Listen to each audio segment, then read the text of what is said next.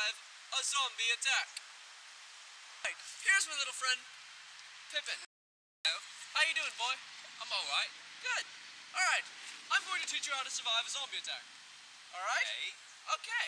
Oh, lucky us, there's a zombie right over there. Alright, listen. You're going to want to go over there and you're going to keep your hands up above your head. Do not let him bite you, okay? Or else you'll become a zombie. Alright? Nothing wrong with my mustache. I must get it uh, Anyway, go. Go ahead, little boy. Go. Such a good lad.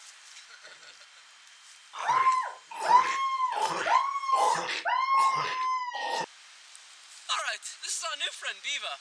After that uh, little mishap with, um, what was his name? Pippin! Pippin. Thank you, Beaver. So, Be- Beaver, you would want to learn how to survive a zombie attack, do you? Golly gee, Mr. Romero, that sounds keen. Super! Alright, now follow me. Alright, now it's time to teach you about the weaponry that zombie killers use. Hmm, excuse me. My mustache is giving me a tiny bit of problem. Now this, my friend Beaver, stop, stop. Beaver? Beaver! This is my trusty sword that I've killed many zombies with. It's quite the blade. Now, Beaver, you'll have the honor of using this. Golly gee, mister, a big fat stick. Exactly. Good job, boy. Now go get him. Go get him, Chuck.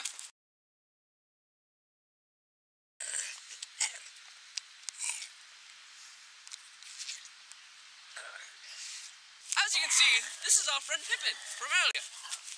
Oh my god! Alright, we're looking for Pippin who managed to get away. There he is, there he is. Move quietly. Move quietly. There he is, there he is. I'm gonna sneak up on him.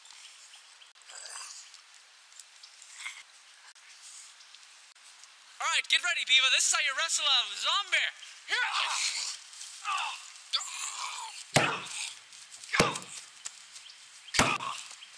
How did that feel,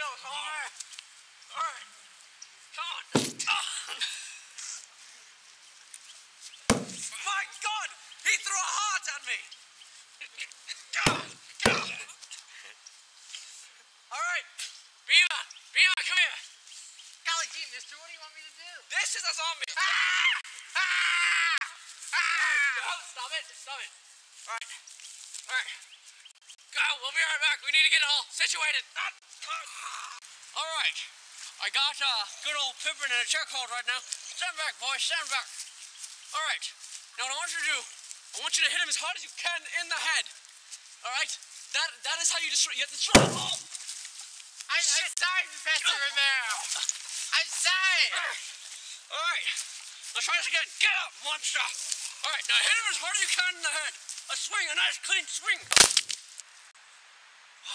I am getting way too old for this. Alright. Now, every year, there are zero attacks by zombies on people. This is too much. Out of all these attacks, no one survives. No one. That is a 0% survival rate. You know what's even worse than that? Government does not give one single dollar to zombie awareness. How could this be? Excuse me. As you can see, my little tuffle with the zombie has gotten me a little out of breath. All right, isn't that right, boy? It is You did a- golly gee. You did a great job killing I that zombie. I did, didn't I? I stabbed him with that big fat stick. Yes, you did.